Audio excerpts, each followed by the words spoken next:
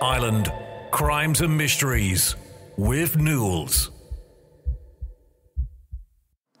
Hey guys, welcome to Ireland Crimes and Mysteries, the podcast channel that takes you on a journey through the dark and mysterious side of Ireland's history. From infamous crimes to unsolved mysteries, we explore the stories that have captivated and intrigued people to this very day. Join us as we uncover the stories behind these cases. Whether you're a true crime enthusiast or a lover of all things mysterious, this is the podcast for you. So sit back, relax, grab a cup of coffee, and let's explore the dark side of Ireland together. This podcast has been compiled from information gathered in the public sphere, like news articles and documentaries. Everything in this podcast is alleged unless a conviction has taken place. Words that come to mind when you mention the west of Ireland rugged, picturesque, isolating, breathtaking, history, tourism, mountain sheep, stone walls, Irish traditional music, the country pub, and friendly people. The west of Ireland is all of these and more. Who can ever visit Connemara or venture out to the Aran Islands or visit Galway City without any of these words being used to describe the place? But back in Victorian times, Ireland was under British rule and part of Great Britain. The reigning monarch was Queen Victoria, and the west of Ireland, along with the rest of Ireland, was a very different place to the Ireland we know today. Our story takes us back to 1882. The country had not yet recovered from the famine of 1845 to 1852. Known also as the Great Hunger, a vast amount of the population of Ireland starved to death as a result of the failure of the potato crop, of which one third of the population depended totally on for food. It is also widely stated that the British government did not help matters by refusing to ban the export of food from Ireland during this time period. Approximately 1 million people died from starvation and disease, while a further 1 million are thought to have emigrated. A quarter of the population lost. The west of Ireland was one of the hardest hit parts of the country. County Mayo, in particular, where an estimated nine tenths of the population depended on the potato crop. Maamtrasna, the setting for our story, was an extremely remote townsland in County Mayo, near the shores of Lough Mask and the Partry Mountains. Maamtrasna, translated roughly from Irish, means mountain pass crossing. This area had a population of roughly 100 residents, all dotted along the pass in approximately 21 tiny stone huts with thatched roofs. Here, the residents farmed their small pieces of mountainous land, which consisted of poor soil and rocky terrain. It was a Gaeltacht area, meaning the residents were Irish speakers, none of whom spoke English. Galway City was some 40 miles away, while the village of Cong was 27 miles away. The nearest police hut was a distance of eight miles, and if you needed a doctor, the nearest was 10 miles away. All of which, in a time where your only way to get around was a horse and trap or by foot, meant that the people of Maamtrasna rarely, if ever, saw a stranger or knew anything about life beyond their own village surroundings. They lived in extreme poverty. Their tiny little stone huts consisted of one, maybe two extremely sparse and cold rooms which housed large families as well as some of the farm animals, who would be kept indoors from the harsh weather, or thieves who would sometimes steal an animal in desperation if their own families were starving. The heat would be from a turf fire where the smoke escaped through a hole in the roof, along with any of the heat emitted from the fire. These people, our ancestors, existed in extremely hard and subhuman conditions that most of us today wouldn't even fathom. On the night of Thursday, the 17th of August 1882, John Joyce, his wife Bridget, his mother Mairead, and his children from his first marriage, daughter Peggy and sons Mihal and Patsy, were at home in their small stone dwelling when they were savagely attacked in a crime that would go down in history for not only the crime itself, but all that followed. What took place in the hut that night would go unnoticed until the following morning when John Collins, a neighbour, walked up to the Joyce's hut to borrow something. He noticed that the wooden front door had been bashed in and was lying in the front room off the hinges. At this moment, he became glaringly aware of the quietness that surrounded him. There wasn't a sign of the family as he moved closer to the homestead.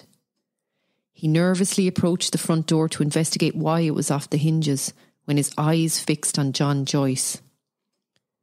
To his absolute horror, he witnessed John lying there on the floor, not moving. At this point, he turned on his heels and ran for help.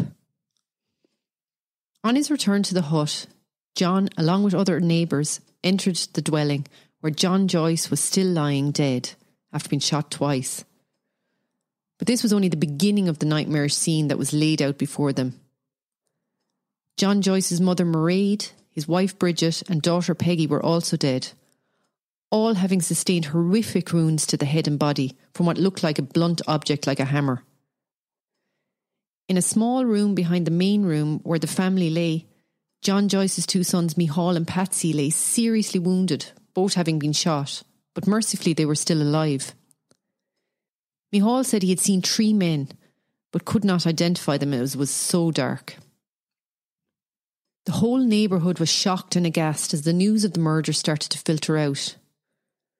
The men that had found the family were left traumatised by what they had witnessed. A meeting was held by the locals and a plan was hatched about what to do next. People were worried and sceptical of each other because of the remoteness of Maamtrasna. It had to be a local. If there were any strangers in the area, they would definitely have been noticed. No one felt safe. While the two hour meeting took place, Mihal and Patsy lay dying in the hut. People afraid to offer help as no one knew why this had happened or who had done it and if they were seen to help the remaining family members, they could be in danger themselves. It was decided the police should be alerted, and a group of men from the village started out on the eight mile journey to the police hut in Finny. In the meantime, no one re entered the house to help the wounded boys. The fear and suspicion of the locals was palpable, so the poor boys were left lying on the floor in severe pain, slowly succumbing to their wounds. By the time the police arrived later that day, the scene had become even more barbaric. Animals had started gnawing at the deceased in the front room, and the two boys were barely alive in the other room. At around 3 pm, Mihal died from his injuries. He had been shot behind the ear. The poor lad endured an excruciating end. A short while later, the local magistrate arrived at the homestead and asked some of the local women would they take in the youngest boy, Patsy. He even offered them money, but every one of them refused, all petrified that if they were seen to help any member of the family, they would be the next target of the killer or killers. They also did not want the police sniffing around them asking questions. To be seen as a police informant in Ireland in those times meant you and your family would be shunned or worse. Patsy mercifully survived the attack after a doctor, Robert McDowell from Dublin, happened to be in the area and heard of the attacks and travelled to Maamtrasna to see if he could help or be of any assistance, and he attended to Patsy, saving his life. A wake was held for all the deceased members of the Joyce family that very evening. An account from that day's events in the Daily Express, dated Friday, August the 21st, 1882, describes it as follows. Considerable number of men and women gathered at the Joyce's house and set up a low wailing keen for the dead, Keen, the anglicised version of Queen, means cry in Irish. This was a common practice at wakes back then. The account continues. The women dressed in red petticoats and shawls sat close together on the grass smoking clay pipes. Some wept loudly, others lamented and gazed steadily at the house, watching every movement the constabulary made. Martin Joyce, John's other son, who worked away from home as a farm labourer, arrived back that evening in the company of police officers who were protecting him in case whoever did this would try and kill the two surviving members of the family. Police also went undercover amongst the gathering crowd, dressed in peasant clothing, hoping to overhear conversations from the locals addressing what had happened, or their thoughts on what may have happened, or if they'd any suspicions as to who may have carried out these horrendous crimes. They knew the community would not be forthcoming with information or approach a police officer with their suspicions. Locals did not trust the constabulary or want to be seen as snitching on a neighbour or a family member. As it turned out, the undercover police gathered no information of significance. But the police, despite the lack of evidence or leads, had their own ideas on why the murders happened. Since the famine times, Ireland, and particularly the west of Ireland, had been hit hard, and little to no recovery was seen in these very isolated parts of the country. Tensions remained high in the area between neighbours and family members. Trust was in poor supply.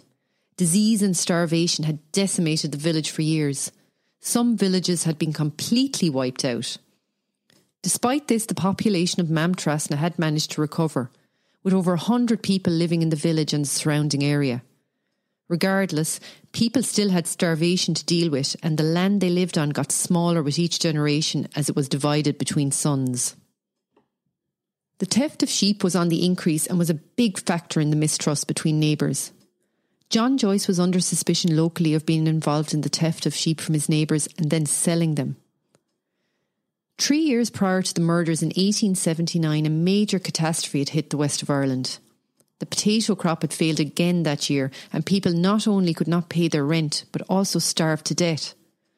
Landlords threatened to evict anyone who could not pay their increasing rents, showing no mercy, burning families out of their meagre homesteads, leaving them with nowhere to go. Resistance to the evictions in the form of the Land League grew in numbers. The land war, as it became known, was a peaceful resistance in most parts of the country, but it was violent in the west where poverty and starvation was higher than other parts of the country, with many murders taking place. Maamtrasna and the surrounding areas saw some of this violence. In 1880, a local landlord called Lord Mountmorres had threatened eviction on one of his tenants, Patrick Sweeney. This proved fatal for Lord Mountmorres, who was shot and killed in Clonbur, County Galway, which is 10 miles from Maamtrasna. No one was ever convicted for his murder, although suspicion did lie at the door of Patrick Sweeney. Then in June 1882, Clonbur saw another murder, which some people linked to the Maamtrasna murders. Joseph Huddy and his grandson John Huddy, who lived near Cong, were en route to serve an eviction notice for a major landlord, Arthur Guinness, whom Joseph was the bailiff for. They were both shot and killed by a mob, and their bodies weighed down and dumped in Lough Mask. The bodies were recovered after a tip off, and after a lengthy investigation, three men, Patrick Higgins, Thomas Higgins, and Michael Flynn, were hanged in Galway jail in January 1883 for their murders. To this day, the descendants of Patrick and Thomas Higgins maintain their innocence. One theory for the possible motive for the killing of the Joyce family was that old Mrs. Joyce or John Joyce himself had given information to the RIC on where the bodies of Joseph and John were buried. Another rumour floating about at the time was that John's teenage daughter Peggy was seen flirting with a police officer. But as I said, this is just a rumour. But any of the above could be a possible motive for the killings. Meanwhile, back in Maamtrasna on the 19th of August, the place was overrun with police officers and journalists. The murders had become big news and had even reached the shores of Great Britain and into the newspapers there. George Bolton, the Crown Solicitor, arrived in Maamtrasna on the Saturday after the murders. He was the prosecutor in the case and known to be a brutal prosecutor, but good at his job, known for his high conviction rate. But the investigation was going to prove difficult with many obstacles. The community was remaining tight lipped, no one willing to speak for fear of reprisal. Not only that, but there was many cultural differences as well as the language barrier. Most of the villagers did not speak English. Translators were needed, which made the investigation slow and arduous. The police looked down on the villagers, seeing them more as one step up from the animals in the fields than human beings calling them unfortunate creatures in their miserable surroundings, living in such isolation, ignorant to the English language, civilization, and laws. This thought process put the people of Maamtrasna at an immediate disadvantage and an unequal footing from the start of the investigation. 48 hours after the murders, a man named Big John Casey, who rumours had said was one of the farmers John Joyce had stolen the sheep from, was arrested. He was released within hours. Post mortems were carried out but shed no further light on a possible suspect. Three days into the investigation, three witnesses walked the eight miles to Finny and told the officer they had witnessed the murders and could identify 10 people who were involved. They went to Finny to avoid being seen talking to the police investigating at Maamtrasna. They said they would be willing to make statements and testify. A magistrate was summoned and they all testified under oath, surely signing the death warrant of all those they had testified against, notwithstanding the fact that they were putting their own lives in danger by informing on their neighbours. It could potentially get them killed. The police put them up in Cong for their own safety, and 10 houses were raided that night around Maamtrasna, and all the named suspects were arrested. A few days after the murders, the burials of the Joyce family took place in a small cemetery between Maamtrasna and Ballinrobe. Mrs. Joyce being buried with her first husband and the rest of the family interred together. In the space of three days, the people of Maamtrasna had witnessed an unspeakable mass murder, the arrest of 10 locals, three informants in protective custody, and five burials. Saturday, the 19th of August 1882, the world had learned about the heinous murders in Maamtrasna in the west of Ireland. All the papers had it as their front page exclusive. This put the government in London and the police under pressure to get a conviction. The British public were out for blood with the current climate of the land wars and unrest. While the land wars raged in Ireland, the government had been heavily criticised for how they had handled it all. In May 1882, the Chief Secretary for Ireland and his Under Secretary had been assassinated. Lord Frederick Cavendish was murdered hours after arriving in Dublin in the Phoenix Park. He had just taken the oath of Chief Secretary in Dublin Castle and was walking through the park with Thomas Henry Burke, the Under Secretary, when they were attacked by a group of nationalist terrorists known as the National Invincibles, a radical breakaway group from the Irish Republican Brotherhood, and they both died.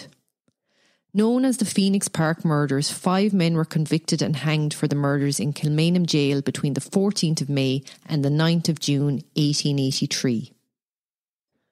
Law and order seemed out of control during this period, so the high profile killings of a family in a remote part of Ireland caused immense pressure on the powers that be to catch and convict the murderer or murderers as quickly as possible. Over a hundred police officers were assigned to Maamtrasna in order to enforce the law under any means necessary. Swift justice was called for. Despite the abundance of police in Maamtrasna, the locals continued to be far from helpful as they held the law in nothing but contempt, distrusting them intensely. So, having three men come forward stating they had witnessed and could name the murderers was a massive coup for the police. After the 10 men were arrested and remanded in custody, evidence was heard at a special hearing of the Magistrates' Court, with no legal representation present for the men at this time. The informants were present as well as the 10 accused. They all knew each other. Some were neighbours, others were relatives. This would stir tensions in the small little village to boiling point for sure. The three informants were questioned by the magistrate and gave their version of events of that night for what they had allegedly witnessed. This is the account given by one of the informants, a man named Anthony Joyce, who happened to be a first cousin of John Joyce, the murdered man, and also a cousin of one of the men he had accused. He stated, as he recounted what allegedly happened, that he was asleep when barking dogs woke him up around midnight. He went to investigate why the dogs were barking when he saw six men passing his house. He knew them all and he could identify them. He also stated that he knew by them they were up to no good. He ran to his brother John's house to alert him as he thought they were headed to him, but they walked past his house. They decided to follow them to see what they were up to. His nephew also went along and they saw four more men join the posse. The ten men then headed to John Joyce's house. Anthony, his brother, and his nephew hid from sight behind a bush. He saw three men break in the door and enter the house, but couldn't say which tree it was as it was so dark. He said he then heard screaming coming from within the house. At this point, he said they decided to flee for fear of being spotted after events appeared to take a violent turn. They went straight home and never contacted the police. This evidence was sufficient to remand the 10 men in custody in Galway jail. Some were sceptical of Anthony Joyce's testimony and that of his brother and nephew. How could they identify all ten men? It was a dark night, and Anthony had stated they could not identify the three that had gone into the house, meaning they could not identify the actual murderers. Plus, why had they not gone to Finian and alerted the police that night? They did not come forward until a few days had passed by. The ten men were in a completely different world when they were plucked from their homes in rural Maamtrasna and incarcerated in Galway jail, where only English was spoken, so none of the men had a clue what was happening to them, as they spoke only Irish. They sat through their hearing, which was conducted through English, probably terrified and feeling completely out of their depths, listening to a foreign language, knowing their fates were being discussed, but not having a clue what was being said about what they were being accused of or what was going to happen to them. Their lives were on the line and they were potentially innocent. This did not seem to bother the magistrate or the police, who just wanted a conviction. Nothing else mattered. The three informants were kept in Cong barracks for their own protection. The whole village was upended by what had happened. Practically every house in the village was affected by the events that had taken place, as either fathers, husbands, brothers, sons, uncles, or cousins were arrested, making it impossible for the three informants to safely return home. The general consensus in the village was that not all the accused were guilty. One of the accused men, Anthony Philbin, had been witnessed to be at another wake the night the murders took place, miles from the scene itself making it impossible for him to be back in time to carry out the brutal attack. This was only the beginning of the nightmare for all involved. The ten accused were kept apart at Galway jail. They could not converse with each other and were held in single cells. And to make matters worse, their solicitor, Henry Concannon, had no Irish, so communication was through a translator, making it a very laborious process indeed information literally getting lost in translation. On Saturday, the 26th of August, there was another hearing, but this time their solicitor was present. This hearing was adjourned until September the 3rd to give their solicitor time to build a case. These proceedings would last two days until the 5th of September. The odds were certainly not in the accused's favour, as a new act had been passed in Parliament called the Prevention of Crimes Act after the Phoenix Park murders making the laws for those accused of murder even tougher. It allowed trials to be heard in a different location, miles away from where the crime had actually been committed. The prosecution successfully argued for the trial to be held in Dublin. This was not very good news for the accused, as a Dublin jury were certainly more likely to convict. The jury would consist of people of a different class from the Maamtrasna men a class of people that saw the accused as nothing more than feral. This jury would also come to the trial with a certain amount of bias, having more than likely read some of the various news articles that were less than favourable to the accused. But this would not be the only blow for the men before the trial even began. While the men sat languishing in their cells prior to the trial, another calamity was in store for them. This would happen when Anthony Philbin, one of the accused men, turned and would be produced at trial for the prosecution to collaborate the three informant stories, stating he had participated and could back up the stories of the informants. Later, as the trial began, Tom Casey, another of the accused, turned and changed his statement too. George Bolton, Crown Prosecutor, had visited the men in jail prior to the trial. Anthony had bowed to pressure to change his story, turning Queen's evidence, leaving nine to face trial. The prospect of avoiding the hangman and walking free playing a massive deciding factor in his change of heart. Without turning some of the men, the prosecution's case was flimsy to say the least. All they had was the word of three informants who could not identify who had actually entered the house that night. As stated, Anthony was the first to change his statement. He was the man witness to be at the wake that night and not even present at the Joyce's house, but nevertheless he went along with changing his story in return for freedom. He said he could name the three men who entered the house and killed the family. His new statement taken and signed three days prior to the start of the trial.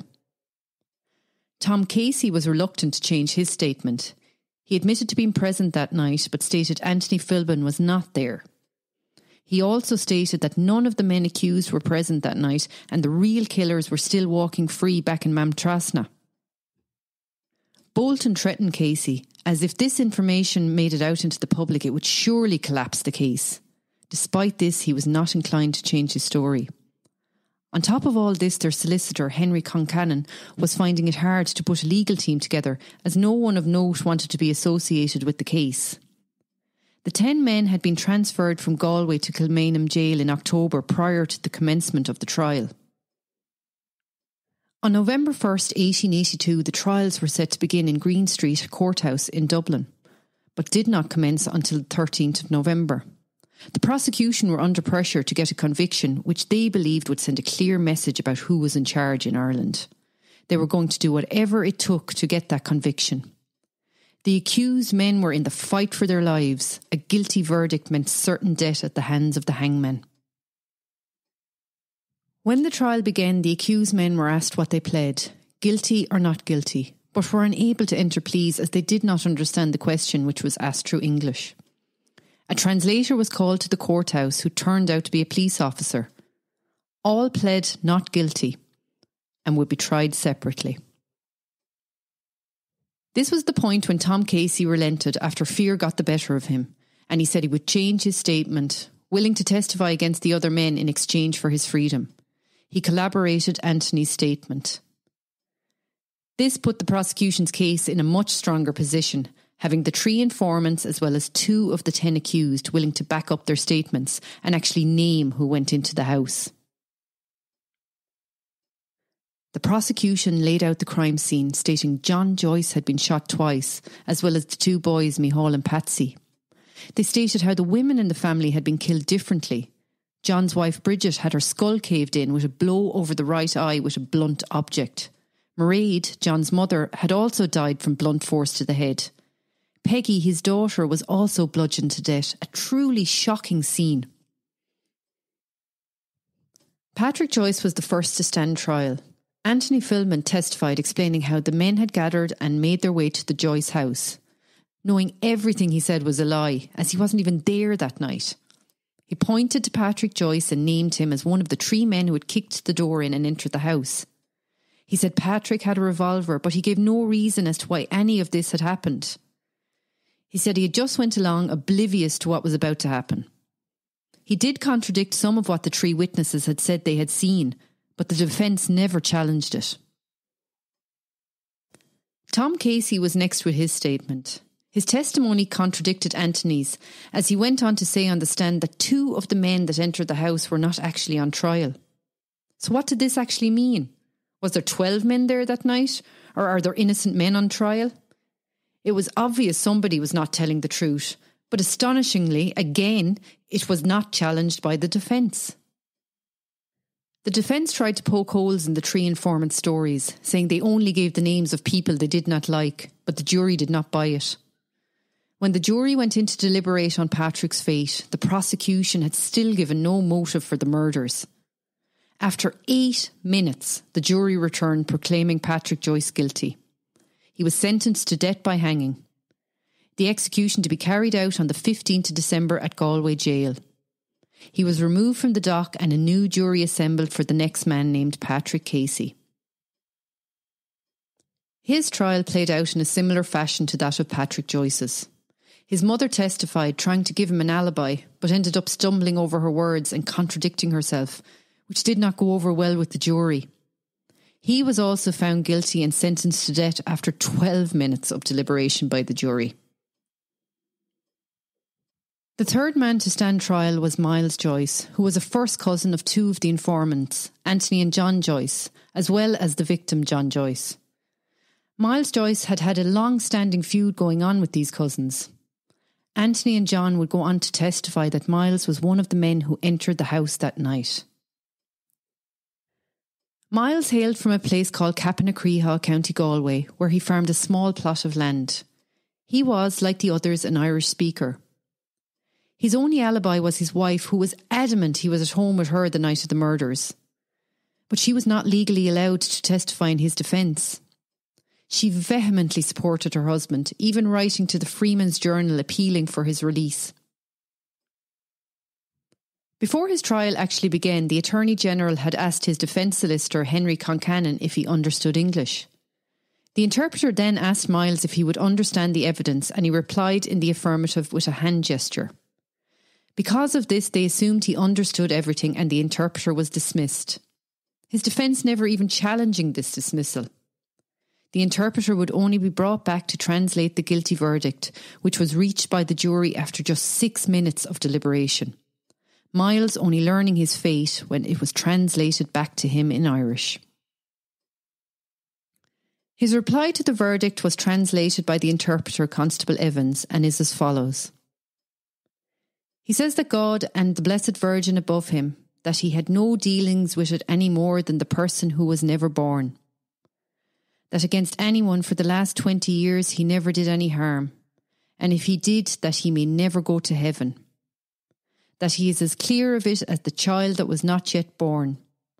That on the night of the murders he slept in his bed with his wife, and that he had no knowledge of it whatsoever.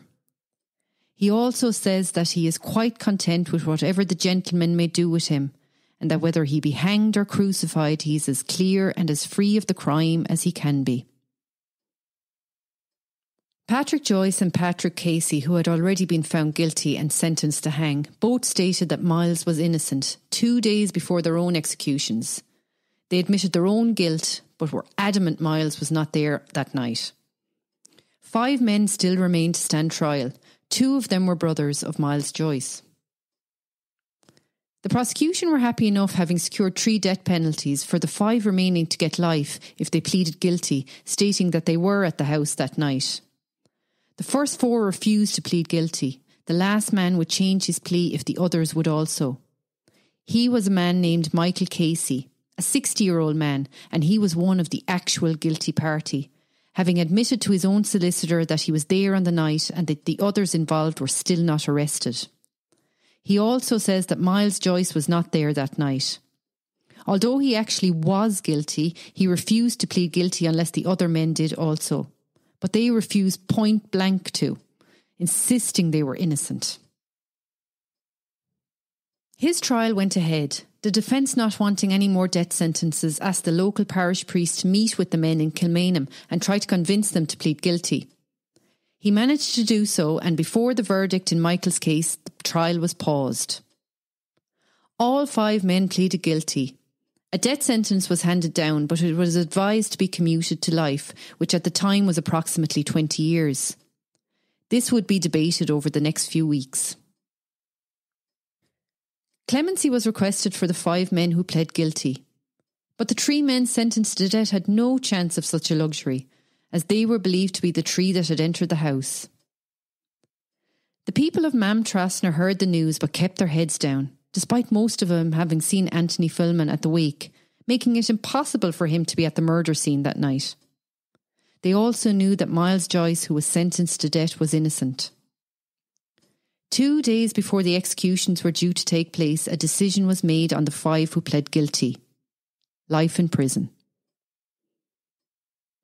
Also, that day, the 13th of December, Patrick Casey and Patrick Joyce signed statements in front of the Governor and the Chief Warder of Galway Jail, admitting their own guilt and acknowledging that Miles Joyce was indeed innocent, stating he had not even been present at the Joyce home that night. They had already admitted their guilt to the prison chaplain through the confessional and advised him of Miles's innocence. They purported to the guilt of Thomas Casey, Michael Casey, and three others who were never arrested stating Thomas Casey had three revolvers and did all the shooting. Two of the men not arrested had hammers and killed those who were not shot. Patrick Joyce said that the Joyces who had sworn against us did not nor could not have seen us the night of the murder. Patrick Casey agreed with this. They reiterated that Anthony Philbin was not even there that night. Patrick Joyce claimed that the motive was spite, but never elaborated on that. Almost everyone who had taken the stand had lied in their testimony, and it appeared that some of those who organised or participated in the murders was still walking free. The new testimonies were sent to Lord Lieutenant Earl Spencer in Dublin, a great granduncle of Diana, Princess of Wales, 48 hours prior to when the executions were to take place. The general feeling was that Miles would get a retrial on this new testimony. After all, what did Patrick Joyce and Patrick Casey have to gain from saying he was innocent?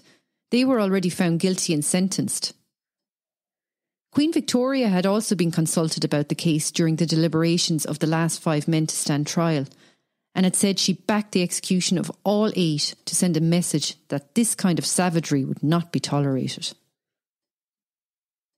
The declarations were discarded by Lord Lieutenant Spencer, and the executions of the three men was set to go ahead on the 15th of December 1882. He'd been heavily criticised for commuting the five prisoners, so was under pressure to carry out Miles's death sentence. Late Thursday evening, he sent a telegram with his decision to Galway jail. The governor of the jail delivered the telegrams to the prisoners himself. It read, Having considered the statements, I am unable to alter my decision.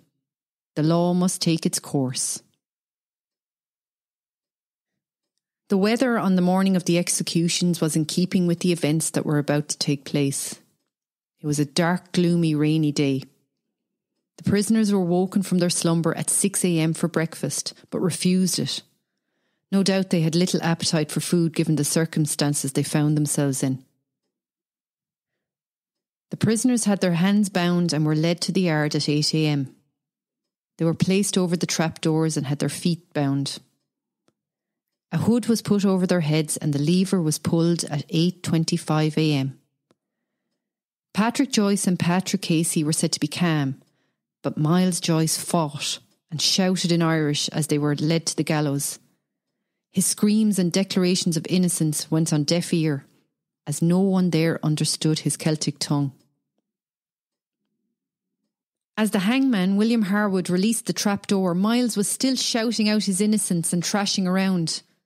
This caused the rope to get tangled up in the hangman's arm, which caused poor Miles to start writhing around in agony, gasping for breath and holding the noose, desperately trying to stay alive as long as he could, to the horror of all the onlookers. Eventually, the hangman detangled himself and kicked Miles into infinity, after a sufferable end, no doubt. A black flag was then raised over the prison to alert the people waiting outside the jail that the executions had taken place and the prisoners were dead. They were cut down an hour later and buried in the prison grounds. But the story did not end with their deaths.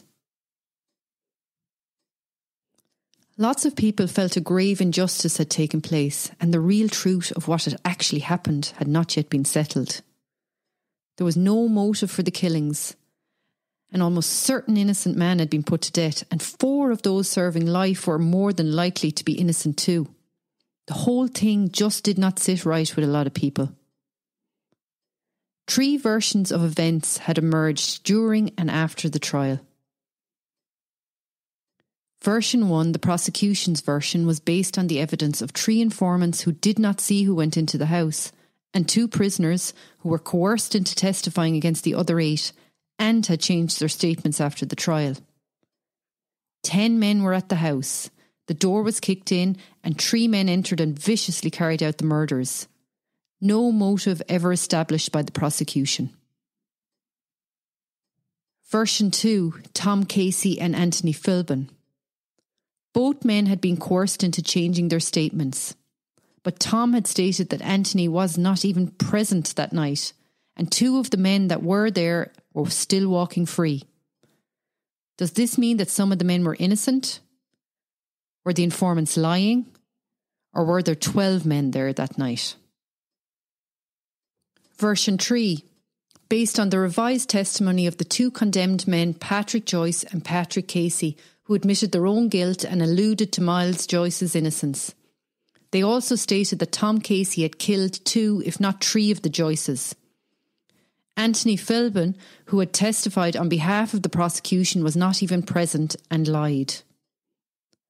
There were so many inconsistencies in the case. When the public became aware of the new statements from Patrick Casey and Patrick Joyce, people were convinced of Miles's innocence.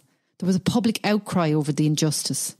It was even debated at the House of Commons, and a public inquiry was demanded by the people. From 1883, Irish politicians were speaking out about the murders and all the inconsistencies, bringing special attention to the execution of Miles Joyce, where it was becoming more apparent he was an innocent man. He had an alibi. His wife claimed to be with him all night that particular night. Joseph Biggar, the MP for Cavan, was unwavering in his criticism of Lord Spencer, calling him a bloodthirsty old English peer, saying, I will always call Earl Spencer a murderer. He hanged an innocent man. In 1884, Tom Casey admitted he lied. He stated he had been there but had testified for the prosecution to ensure his freedom. The local parish priest, through his sermons, would condemn Tom, calling out people who had perjured themselves in the case for their freedom. So, after much pressure, Tom admitted to the priest that he had actually been untruthful. The Archbishop of Tuam made Tom kneel before him at Mass and admit in front of all the parishioners he had lied. Before long, the news reached the Freeman's Journal and they interviewed Tom, who again admitted his deceit. He stated that Anthony Philbin had also lied. He said that they were both threatened by the Crown prosecution, George Bolton, that they would most definitely hang if they did not testify. All the outrage and publicity gave hope to the other men languishing in jail. It was again raised in the House of Commons, but was rejected as lies by both Casey and Philbin. The government claimed they had changed their story out of fear of retribution from the neighbours who would want vengeance for the hangings. But the pressure kept coming. The Archbishop of Tuam wrote to the Lord Lieutenant of Ireland demanding the investigation be reopened. National and international papers ran the story. It even made the New York Times. But the British government refused to bow to pressure Lord Spencer refusing to admit he had hung an innocent man. In 1884, a motion was put before Parliament demanding a public inquiry. It would be debated for four days. William Gladstone, the Prime Minister, backed Lord Spencer, saying an inquiry would bring into question Lord Spencer's honour, and he could not go along with that. The motion was defeated by 219 votes to 48. The British establishment wanted the Maamtrasna murders and ensuing trial to go away. It was obvious they were not interested in pursuing truth and justice. There would be no posthumous pardon for Miles Joyce or retrial for the men serving life. In 1895, Michael Casey died aged 73 in prison, the one definite guilty party. In 1900, John Casey, who was innocent, died in prison. He had served 18 years. His body was never returned to his family. In 1902, the remaining men were released after serving out their sentence of 20 years. Two of them were brothers of Miles Joyce, as well as one of his nephews. They went home on the train from Dublin to Ballinrobe and walked the final 18 miles home. But what really happened that night? What was the real story? We know three of the eight convicted were definitely guilty. There was more than likely at least seven people present that night, which would conclude that four of the guilty party may not have even been tried. But who were the seven? The suspected seven were named in the papers back in the 1880s. In 1884, MP Timothy Harrington wrote a book naming the supposed guilty parties. He went to Maamtrasna and interviewed Tom Casey, who we now know was definitely there. He named the others present. One of particular interest was a fellow named Big John Casey, who he claimed arranged the murders. He had been originally arrested after the killings, but was released when the informants came forward and named the 10 men that were then arrested. Timothy Harrington also commented on the fact that no motive was ever established. After several interviews, Tom stated Big John Casey, John Joyce, the victim, and others involved in the murder were part of a secret society. These societies were dotted around the country, but were particularly rife in the West. They carried out attacks on people who they thought had dishonoured their communities in some way, for example, like snitching to the police on someone. According to Tom's accounts, Big John and John Joyce were at odds over the issue of sheep stealing in the neighbourhood. It was alleged that John Joyce had tried to kill Big John on at least three occasions. He had threatened the police on John Joyce, but John Joyce had warned Big John he would name every member of the secret society if Big John went to the police. This was allegedly the reason for the murders, according to Tom Casey. But can his new account be trusted? He said the intention was to kill everyone in the house. But why kill the whole family and not just John, if the story is to be believed? Plus, the men in the family were killed differently to the women. Was there a reason for this? To this day, the real motive still eludes us. It was revealed that the three informants got well paid for their testimony, but they were ostracised by the people of Maamtrasna. Anthony Joyce was drinking in Boyle's pub in Churchfield near Maamtrasna one evening when an argument broke out between him and a relative of Miles Joyce. Anthony hit him, and other punters joined in in the defence of Miles's relative. Anthony came out of the fight with most of his nose missing. Patsy and Martin Joyce, the surviving children of John Joyce, never came back to Maamtrasna. They were put into the care of the Christian brothers in Artane. After leaving Artane, they both emigrated to America. Patsy was never heard from again, but Martin did return to Ireland after some years. His son fought in the 1916 Rising. Another son was playing for Dublin against Tipperary on Bloody Sunday in November 1920, but survived. Descendants of the Joyce family still live today and welcomed the posthumous pardon of Miles Joyce 136 years after the trial in Dublin in 2018. In the presence of President Michael D. Higgins, the family finally got the pardon that they so wished for following a commissioned report by Dr. Niamh Howlin of UCD. This report found his conviction to be unsafe. Miles' pleas for innocence were finally acknowledged. I stumbled upon this case when I was researching what episode I would like to cover next, and I found it absolutely intriguing. I couldn't believe I'd never heard of it before. The murders in themselves were brutal enough, but what followed was an unbelievable tale of betrayal, lies, abuse of power, and ultimately the death of an innocent man. I hope you found this episode delving into this historical case as interesting as I did. I hope to bring you more equally as intriguing in the future. So, guys, thanks for joining me on Ireland Crimes and Mysteries today. I hope you enjoyed exploring the darker side of Ireland with me. If you have any suggestions for future episodes or would like to share your thoughts on the cases we've covered, please feel free to leave a comment. Don't forget to subscribe to my channel to stay up to date for all my latest episodes. Until our next investigation, keep your eyes open and your mind curious. You've been listening to Ireland Crimes and Mysteries with Newells. Join us for another episode coming real soon.